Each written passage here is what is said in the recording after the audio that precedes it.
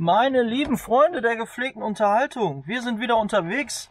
Heute geht es zum DJ Mike und DJ Mike hat einen geilen Roadtrip vor. Was genau, das wird er uns hoffentlich gleich erzählen. Fahren wir los. Gut festhalten. So, da sind wir. Grüß dich Kai. Grüß dich Mike, bei dir in der Garage sind wir. Man sieht im Hintergrund das Fahrzeug, um das es heute geht, aber es geht natürlich auch um dich und dein irres Vorhaben. Du möchtest nämlich mit dem Fahrzeug hinter dir Nach Mallorca. nach Mallorca. Also kein kleines Türchen, Nein. eher größeres Türchen von ungefähr wie vielen Kilometern? Das sind ca. 2000 Kilometer. 2000 Kilometer.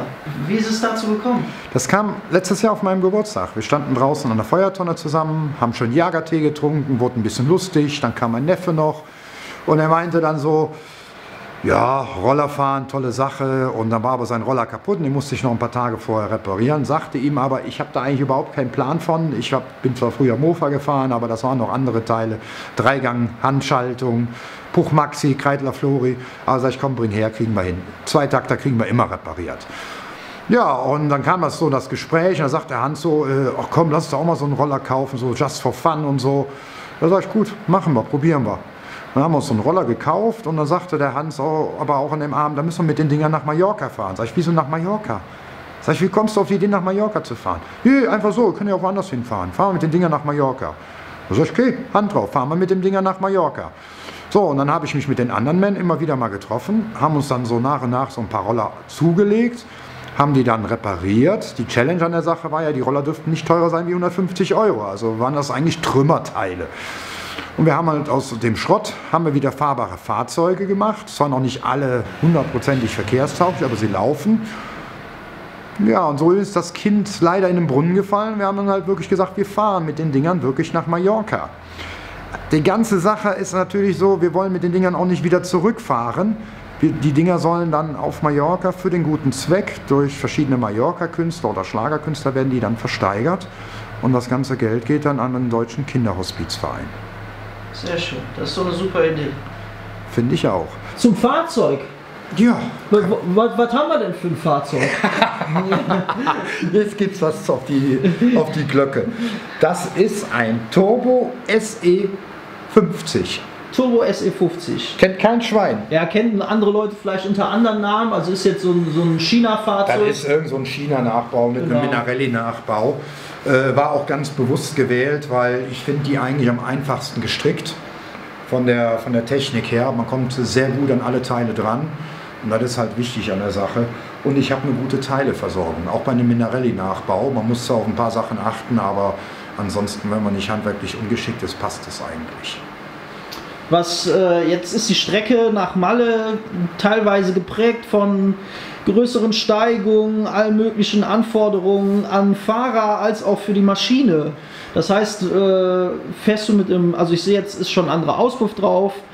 Ähm, was sind sonst so an Veränderungen drin Also- oder was ist geplant? Warum bin ich auf Scooter Attack gekommen? Ich habe natürlich ein bisschen recherchiert, habe dann auch Videos von euch gesehen, Rennen gesehen, habe ich auch mal bei einem Rennen besucht.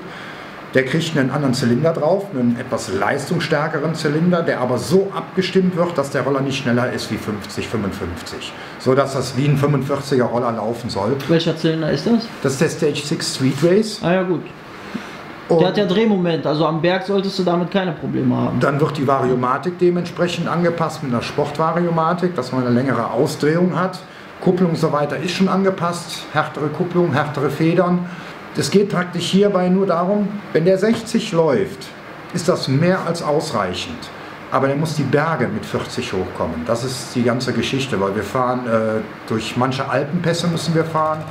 Aber die größte Herausforderung werden halt natürlich die französischen Seealpen, wenn es dann runter geht Richtung Cannes. Weil da wird es echt brutal. Da haben wir 17 Kilometer, fast 15 Prozent Steigung. Und da brauchen wir Kraft. Definitiv Kraft. Ohne die Kraft kommen wir die Berge nicht hoch. Was, wie lange habt ihr geplant unterwegs zu sein? So, das ist ja jetzt kein Pappenstiel, ne? Also wir müssen, wir haben nicht geplant, wir müssen, wir haben Fähre gebucht. Wir werden freitags mit der Fähre, oder beziehungsweise freitags werden wir mit der Fähre nach Mallorca übersetzen. Das heißt, wir haben sieben Tage bis nach Toulon, werden aber vorher über Saint-Tropez fahren. Das heißt, wir kommen über Cannes runter, einen leichten Umweg. weil wir in Saint-Tropez noch die Geisens treffen. Die Geisens werden alle Roller signieren und fahren dann von, de von denen aus direkt nach Toulon. Und dort sitzen wir dann äh, am Freitagmorgen mit der Fähre über nach Mallorca. Und dann heißt das nochmal 400 Kilometer über die Insel bis an die Playa und dann sind wir am Ziel. Also wenn ich jetzt richtig aufgepasst habe, etwas über eine Woche? Ja, Etwas über eine Woche. etwas über eine Woche. Also da müsst ihr, äh, müsst ihr Sitzfleisch beweisen. Sitzfleisch, ja. Ja. Geleinlagen, Kühlpacks, keine Ahnung. Also das wird eine lustige Sache. Auch mal im Stehen vielleicht fahren, keine Ahnung. Also ich denke, für die Maschinen mit einem guten Partner wie euch an Seite dürfte das keine Probleme geben. Aber ich denke, körperlich werden wir wirklich Rücken, Po, alles kriegen. Das wird eine Challenge. Das wird mehr als eine Challenge. Aber darum geht es ja auch. Genau darum geht es. Wir haben, also wir verzichten auf Luxus. Wir haben nur ein Zelt und einen Schlafsack dabei. Das Spontanigste an Kleidung, da muss auch mal eine Unterhose irgendwo in einen Mülleimer geworden, geworfen werden, dann beim Discounter gerade eine neue Unterhose geholt werden. Weil du weißt selber, auf so ein Ding kriegst du nicht viel Gepäck drauf. Das stimmt. Und einen Rucksack möchte ich nicht sieben Tage auf dem Rücken haben. Da wird hinten ein Gepäckträger gefertigt, wo so ein kleiner Koffer draufkommt, so ein Boardcase-Koffer, was man vom Flugzeug kennt. Und da muss alles rein, was wir brauchen. Wir haben keinen Werkstattwagen dabei. Das heißt, Werkzeug wird auf uns Jungs verteilt. Einen kleinen Schlagschrauber, das notdürftigste Werkzeug, dass man gerade mal eine Variomatik, einen Riemen wechseln kann, eine Zündkerze wechseln kann. Und auch mal zur Not einen Zylinder vielleicht runterholen kann, neue Kolbenringe drauf machen kann oder sonst was. Aber mehr können wir unterwegs nicht mehr deichseln. Also ein kapitaler Motorschaden oder Getriebeschaden darf nicht passieren. Toi, toi, toi. Wird klappen. Wird klappen, ich bin auch guter Dinge. Denke ich doch. So, Beifahrertür auf. Da ist noch was für die, für die Wegstrecke dabei nach Ah. Malle. Ne? Ja, ist doch prima. Öl haben wir nicht genug. So, guck mal, und da ist sogar eins. An eins habe ich sogar ein Schleifchen dran gemacht, weil du Geburtstag Oh, hattest. danke schön, Kai. Das ist aber allerlieb. Aber Öl haben wir nicht genug. Ja, wie hast du vorhin noch gesagt? Mit dem Öl? Wer gut schmiert, der gut viert. Ja, ganz genau.